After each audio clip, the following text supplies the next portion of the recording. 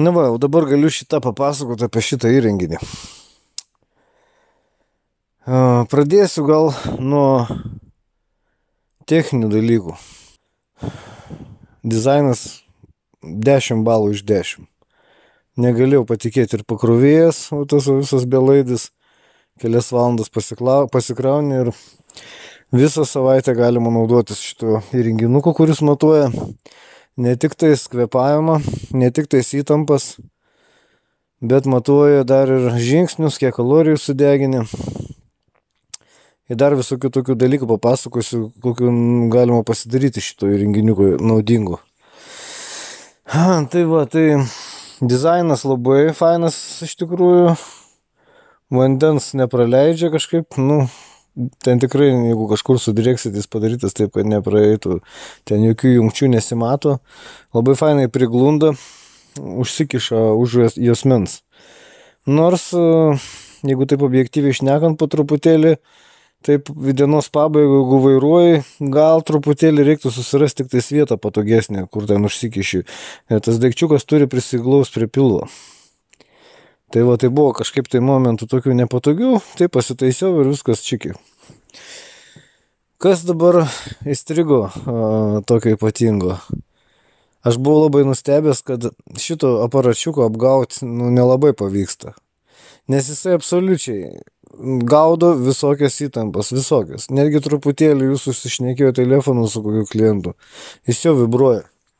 Jis jau sako, kad tu per mm, kvepuoji, esi stri, nu, tokiai įtampai.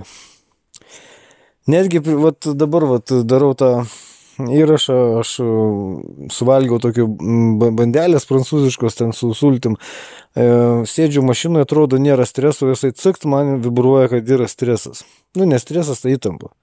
Aš galvoju, kas čia dabar taip yra, pasirodo, aš žiūriu, kad aš greičiau pradėjau kvepuoti taip, nes maistas virškinasi.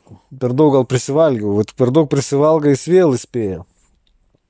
Ir bet kur, kai jis pradeda vibruoti, iš atpradžių galvoju, kas čia dabar taip yra, bet kai pagalvoji, iškart surandi, surandi priežastį, kodėl jis vibruoja. Čia toks netgi kaip ir gaunasi sąmoningumo skatintojas, tokias visą laiką būni meditacijos būsenai. Vat važiavau automobiliu Vilnių Iš karto yra ten netgi toks treniruoklis šitam aparačiukė, per, per telefoną susinstaliuoju programą, galima netgi treniruotis, kaip kvepuoti, kad raminančiai veiktų. Ir jeigu taip kvepuosit, kaip parodytavo būtent šitam telefone, kaip ten reikia kvepuoti, nu fantastiškas jausmas iš karto, tokia ramybė iš karto užplūsta. Aš tik bijau, kad prie šitokio aparačiuko pripratus, paskui žiūriu, kad ne, nebūtų taip, kad be jo sudėtinga būtų visą šitą prakontroliuoti. Nu, jeigu visą gyvenimą ir nesitasysit jo su savim, tai bent jau pažinsit save maždaug, kad suprastumėt, kaip veikia jūsų kūnas, kaip veikia jūsų kūno emocijos, kaip veikia kūno bendravimas su žmonėm netgi smulkmenos neišeina apgauti šito aparačiuką, jisai pradeda vibruoti, jeigu kažkas tai, nu, netvarkoja. Ką, ką aš čia dar tokio pastebėjau? A, va tėva, kurie norėtų, ten klausinėje dabar žmonės, čia buvo toks podcastas apie sąmoningus sapnus biškišnekėjau. Labai geras dalykas, mm, kai suvibruoja, kaip tik pasitikrinti realybę, ar aš nesapnuoju. Aš paskui parodysiu, ko, kokiais ten būdais, nu, tai galima nuosi užsičiaupti su pirštais ir pabandyti prapūsti, nes sapne eis keurai oras. Arba galima paimti susiskaičiuoti, kiek pirštų yra ant rankos, nes būna sapne gali būti šeši pirštai, septyni. Tai va, kai kiekvieną kartą aparačiukas suvibruoja, kažką netaip darot, jau galit prasitikrinti realybę, ar jūs nesapnuojat.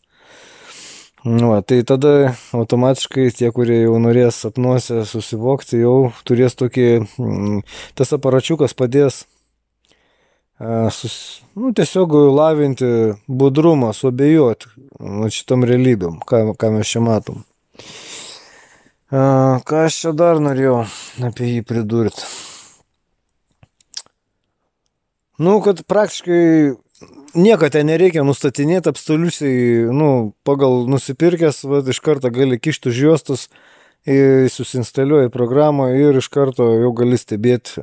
Niekių ten nustatymų nereikia, apart to, kad reikia susivesti jums savo amžių, ūgį, svorį.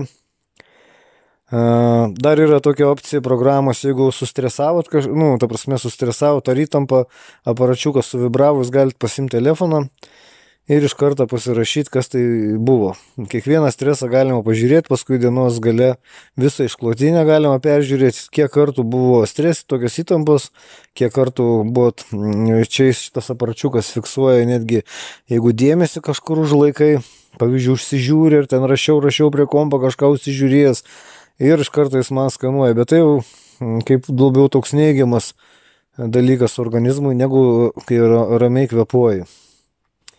Tai vad, kai ramiai kvepuoji, jau ten automatiškai irgi skaičiuoja, kiek tu ramybės būsinai. Šitas aparačiukas neskaičiuoja įprasto kvepavimo. Nu, jeigu taip prastai, nei ramybė, nei neramybė, nei įtampų, nu, tokia, bet, bet vis tiek apačioj galė dienos jūs matysit, kiek bus suskaičiuota, kiek įprastai kvepavot, kiek uh, buvo ramybės būsena kvepavot kiek kvepa, o ramybės būsna tai nėra įprastas kvepavimas. Tai yra tada, kai kūnui, du, vat, ramybės, kiek daugiausia duosi tos ramybės kūnui, tiek, tiek ir protas ramėja. Nes čia labai įdomus dalykas, su kvepavimu yra susiję ir vidinė būsena. Kuo aš mm, daugiau ramiau, kvep, nu, to, va taip kaip vat, parodyta bus programai, kvepuoju, tuo mano vidinė, vidinė irgi ramybė jaučiasi iš karto. Jeigu, pavyzdžiui, yra kažkokia tai va, problema, sunkumas, neramu, pasiemėt programą, atsidarot, pasiemėt tą aparačiuką ir kvepuojat taip, kaip ten tokia, yra toks treniruoklis, kaip. Tai va, tai galima, galima iš karto pradėjus kvepuoti atitinkamai pakeisti savo vidinę būseną. Per kvepavimą. Tai čia nereiks jokių ten vaistų, ten ir ryt ar kažkokių raminančių, dar kažko grinai per kvepavimą. Kas netikit, patikrinkit Jeigu kažkur tai aš suklydau, tai pasakykit, bet aš esu išbandęs, veikia, nu, tikrai efektyviai veikia. Kas ten dar? Dar aparačiukas fiksuoja, kiek jūs sėdėjot, jeigu sėdimo vietą, nu, ten irgi galima užstatyti signalus, kad norit, pavyzdžiui, kad per daug ilgai nesidėti prie kompo, reikia pertrauką padaryti. Jeigu ten prasidėjo valandą, pavyzdžiui, laiko prie kompo, jis jau brr signalizuoja ir pasižiūri telefoną, jau matot, kad per ilgai užsisėdėjot. Kiek laiko ten sportuojat, irgi matot. Dar toks, vat, gal tik niuansas buvo, kad e, aš kaip čia truputėlį fiziškai padirbau, nu tas aparačiukas irgi parašė kaip įtampa. Nors aš jau buvau sugrįžau, atsisėdau mašinoje, jis po kelias minutės parodė nu, gal ten labai tiksliai nepavyksta sugaudyti tas e, aktyvumo, bet e, iš kitos pusės žiūrint, jeigu aš labai tankiai pradedu kvepuoti, tai irgi jau skaitosi kūnų kaip įtampa. Tai nėra ramybės būsena. Kas nėra ramybės būsena, tas yra, nu, kaip ir įtampa. Tai va, tai ką aš čia dar norėjau pasakyti. Mm. Nu kaip ir nieko atrodo. Fantastiškas dalykas. Galima išbandyti, yra toks labiau savo pažinti. Pažinti, kaip tu veikia, kaip veikia kvepavimas. Kaip tave pati veikia situacijas, įsivaizduokit. Ir per, per kvepavimą matosi visas gyvenimas. Pasižiūri kvepavimo tą diagramą, kaip dieną gyvenai. Ir matosi, kokia ta diena buvo. Aš įsivaizduoju, jo, kad kokiam vienuoliui, kuris ramiai leidžia laiką, uždėtų tokią paračiuką, tai pa, pa, parodymai būtų visai kitokie negu vyrui, kuris eina į pasaulį kovoti, eina biznius daro, verslus daro ir išsibalansuoja tas kvepavimas, išsibalansuoja gyvenimas. Tai va šito paračiuko dėka galima pažinti save, šiek tiek reguliuoti pačiam pradėti kvepavimą, tapti budresniam, samoningesniam Nu, maždaug taip. Jeigu dar kažkokių klausimų kils, galit klausti.